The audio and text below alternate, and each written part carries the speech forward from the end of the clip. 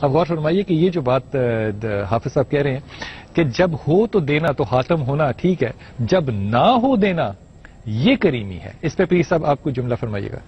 بسم اللہ الرحمن الرحیم۔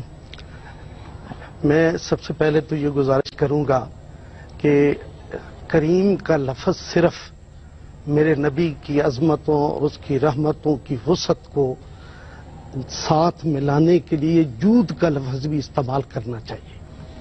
کیونکہ کریم کا معنی یہ ہوتا ہے کہ بڑی قدر و منزلت والی چیز کو دینا۔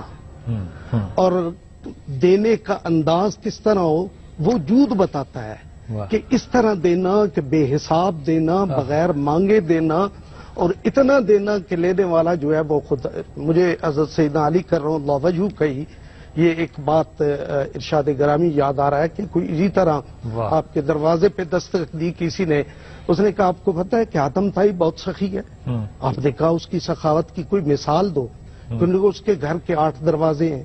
اور جو آدمی بھی اس کے دروازے پہ ایک پہ دستک دیتا سوال کرتا وہ اسے عطا کرتا۔ پھر وہ دوسرے پہ چلا جاتا پھر دیتا پھر عطا کرتا۔ پھر پانچویں پہ جاتا آٹھویں پہ جاتا۔ وہی ایک سائل بار بار ہر دروازے پہ سوال کرتا، وہ اس کے دامن کو بھر دیتا۔ لیکن، اور وہ بڑا سخی ہے۔ تو آپ نے ارشاد فرمایا، وہ کیا سخی ہے؟ جس کے دروازے سے ایک سائل کو آٹھ بار مانگنا پڑتا ہے۔ ہم تو وہ سخی تمہیں تمہیں میں اس سخی کا درد دکھاتا ہاں، ہوں ہاں، ہاں۔ جس سے ایک بار مانگو تو وہ اتنا دیتا ہے کہ پھر کیا بات ہے کیا بات ہے پیر صاحب کیا بات کی؟ خواتین چھوٹا سا وقت لینا شاہ صاحب کی کیا خوبصورت بات کہ وہ کیا سخی ہے جس پہ مانگنے والے کو آٹھ دروازوں پہ جانا چاہ۔